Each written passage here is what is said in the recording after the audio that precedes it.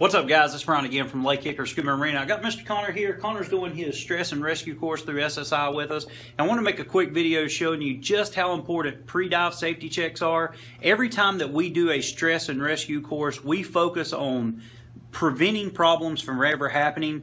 If we can prevent them from happening, we shouldn't have an issue in the water. Now, we also teach the students once you get in the water, problems can still occur, and so we're going to teach them how to deal with that. But it's more importantly for us to stress to that student here at the surface, we want to prevent problems from happening, so a proper pre-dive safety check is very vital. So, Mr. Connor here, he's got a set of dive gear, and he's going to have to go through this equipment with a fine-tooth comb and tell us everything wrong with it. So, let's see how good he does. And again.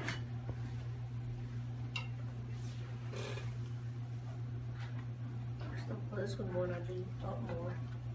Ish.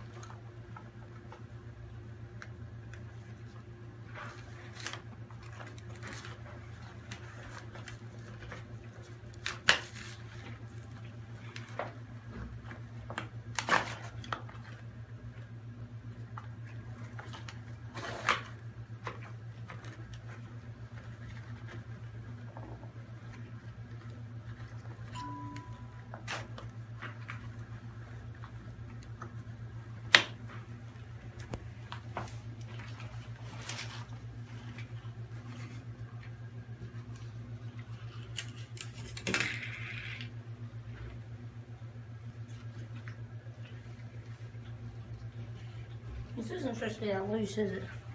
The yoke nut? Yeah. So it's too loose? I'd probably write that one down then.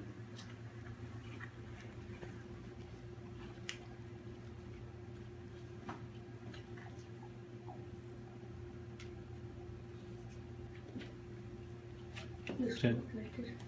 So your inflator hose was disconnected? All right.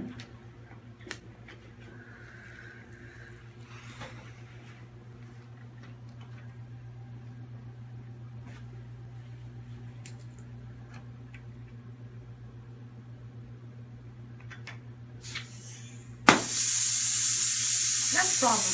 Yep. Popped the O-ring. That's probably from that yoke nut being too Yeah. loose, right? All right, go ahead and turn it off. That's on. Okay.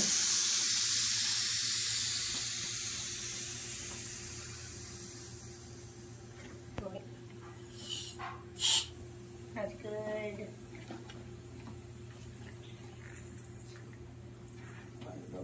You can go ahead, yeah, go ahead and bleed it down. There you go. We know we got to fix that yoke nut before we can check air and all that, right? Mhm. Okay, any other problems? Well, I did connect this. Hmm. Um,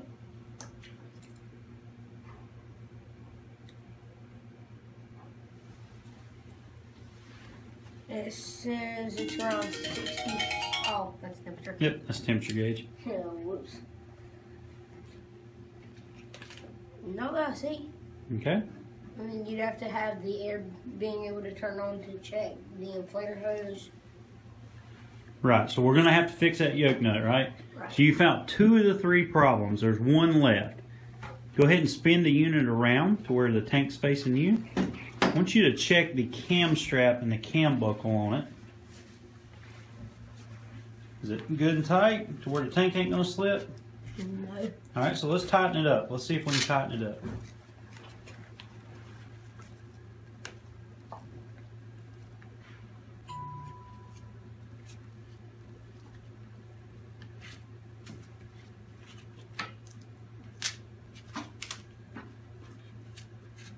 Still loose? Okay, what could be the issue there? if we're unable to tighten it? The cam strap could be too big. No, not. not too big. I it's cut there. What if it was threaded the wrong way? Could that be a possibility? Mm-hmm. So if it's not thread, yeah, if it's not threaded the right way, then the cam buckle's not going to operate properly. Correct? Very good. So we'll teach you how to fix that as well. Okay?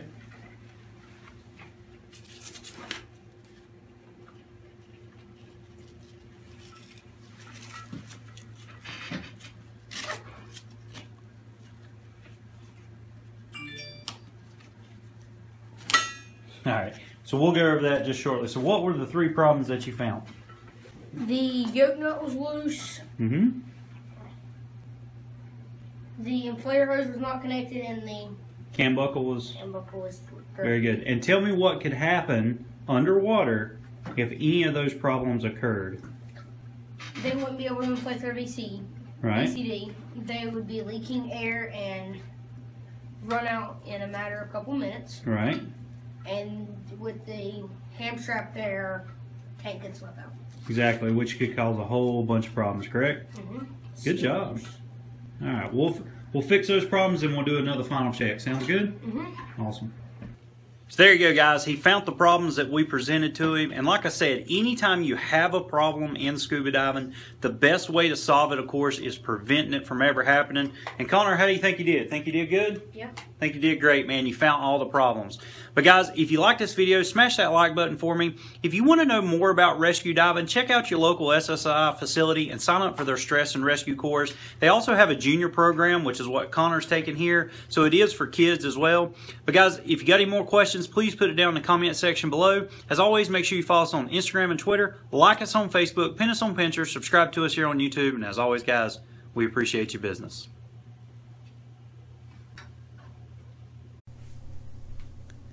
Guys, we really appreciate you watching our videos. If you liked it, make sure to give us a big thumbs up. If you're not a subscriber, simply hit that subscriber button for us and make sure you hit the little bell to turn on all notifications.